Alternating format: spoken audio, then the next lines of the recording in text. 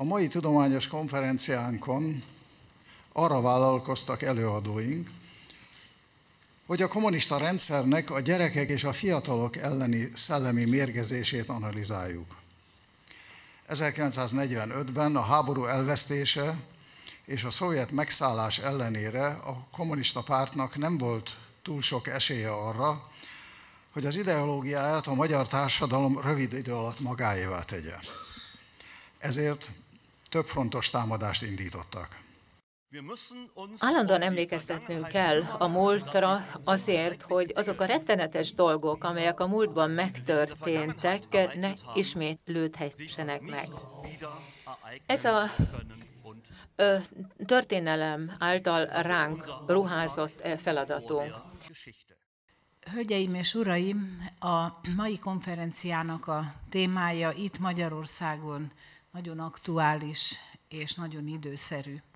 Európában még mindig nem ismerik fel a kommunizmus kártételeit. Azok a nyugat-európai országok, amelyekben a kommunista pártok működtek, azok messze-messze távol voltak a gulág világától, az Andrási út 60 világától, és mindattól a kártételtől, amelyet a kommunizmus itt Magyarországon, vagy az NDK-ban, vagy a szocialista táborhoz tartozó többi országban tett. És hogy mennyire nem tudják, ennek számos jele van, az összefüggést nem nehéz kimutatni, e jelenség és a ma jelenség között, amelynek Magyarország külön is elszenvedője, egészen tavaly január óta, amikor megindult ellenünk az a nehezen értelmezhető hadjárat, amely ugyan kissé enyhülni látszik, de teljes mértékben még mindig nem szűnt meg. 20. század diktatúrái legyenek akármilyen színezetűek, vagy akármilyen nevűek, azonos tőről fakadtak. Az 1947-es, 48-as tanévben még a magyarországi iskoláknak több mint 60%-át a történelmi egyházak működtették. Az általános iskolák 63%-át, a középiskolák 49%-át, mi több a tanítóképzők 74%-a a történelmi egyházak felügyelete és irányítása alatt működött. 1948. június 16-án aztán egy tolvonással megtörtént az a gyalázat, amelyet államosításnak nevezünk, amikor minden tulajdont, vagyont elkoboztak az egyházaktól, az ott tanító, működő, magasan kvalifikált, jól képzett, sokszor európai hírű, tudós szintjén álló, vagy éppen ezt művelő szerzetes tanárokat szétkergették, esetleg börtönbe küldték, és a helyüket átadták olyan szerencsétlen sorsú fiatal tanároknak, akik sokszor szakérettségivel a zsebükben valóban egy leckével tartottak előrébb, mint a, a, a tanítványaik. Megkezdődött tehát az az ideológiai átnevelés, amelyről az előttem szólók is beszéltek, és amely nagyon tudatosan ment. Tanár nemzedékek úgy nőttek föl ebben az országban, és kaptak tanári diplomát, hogy a pedagógia tudományából, amely eh, Magyarországon a 20. század elején világszínvonalú volt, a keresztény pedagógiát művelő Firáci Ernő, Veszeli Jödön, és sorolhatnám a többiek nevét, egy szót nem hallottunk, a létezésükről sem tudtunk.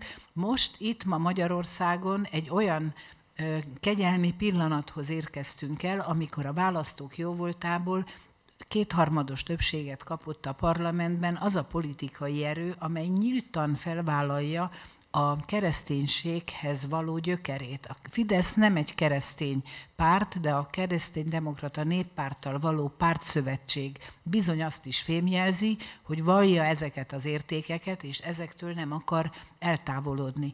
Ez nyilvánul meg az alaptörvényünkben, amelyet tavaly áprilisban nagy többséggel elfogadott a parlament, és ez az értékrend jelenik meg a kormányprogramban is, a keresztény gyökereket így említhetném, hogy ez az, amit megjelenítünk. És ez az az értékrend, amelyre ráépült és rá szerveződött az az oktatáspolitika, amelyet immár két éve elég sikeresen tudunk vinni minden eh, támadás ellenére eh, vidéki fórumon mindig megkeresnek emberek azzal a biztatással, hogy higgyem el, hogy naponta imádkoznak értem és értünk, és tudom, hogy ez az erő segített, tehát idáig is sok olyan akadályon bennünket, hogy végül is sikerült megteremteni egy új oktatási rendszer kereteit, amelyeket, amelyeket most töltünk meg tartalommal, és bízom benne, hogy ezt a munkát sikerre tudjuk vinni. A szovjet típusú diktatúra ugye egyetlen egy kézben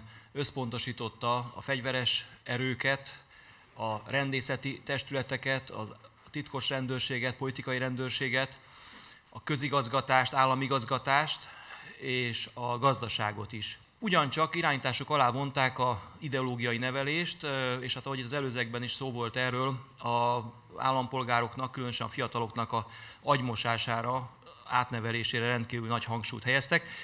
És ami miatt érdekes ez a mai konferencia, és amiatt nagyon fontos, hogy itt most összejöttünk, és ezekről a témákról beszélünk, hogy, hogy a diktatúra funkciók közül, amiket most felsoroltam, talán ez az a terület, ami a legkevésbé ismert, és a legkevésbé földolgozott, míg az előző részeket, tehát az előző tendenciákat már számtalan kiváló jogtörténész és történész kutatta, bemutatta ezeknek a mechanizmusát, a koncepciós perektől kezdve egészen ugye a gazdaságnak és a központosításáig, addig erről a témáról ugye elég keveset olvashattunk, elég keveset hallhattunk.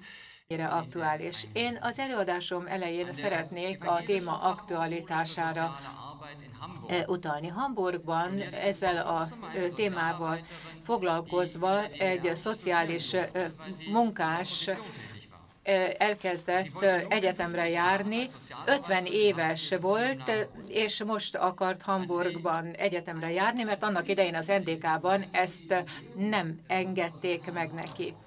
És amikor a kötelező olvasmányok listáját meglátta, nem hitt a, nem hitt a szemének. Ebenhard Manschatznak egy egy tanulmányát tanálta ott, aki az NDK Jugendhilfe nevű szervezetével foglalkozott. És ebben a műben az szerepel, hogy a Jugendhilfe intézményeiben biztonságban vannak a fiatalok, szeretnek ott lenni, és így tovább. Tehát ez állt 2012-ben az ottani tankönyvben. A statáriális bíróságok 37 fiatalkorút ítéltek el, összesen 234 évre. Ez fejenként több mint hat év. Volt köztük, aki felnőtt rapként csinálja végig az 1960-as Váci éjségsztrájkot, és voltak itt, mintán a büntethetőségnek nem volt alsó korhatára, 13 éves korában elkövetett fegyverrejtegetésért ítéltek el. Én csatlakoznék ahhoz, amit az előbb hallottunk a Tökeli intézményről. Már hallottunk utalást arról, hogy az NDK-ban is voltak hasonló létesítmények. Németországban vita folyik a fiatal korúak intézményeivel kapcsolatban. Ez a 60-as évek óta jellemző, akkor beszéltünk arról, hogy egyáltalán milyen viszonyok voltak a nyugati nevelőintézetekben, illetve keleten.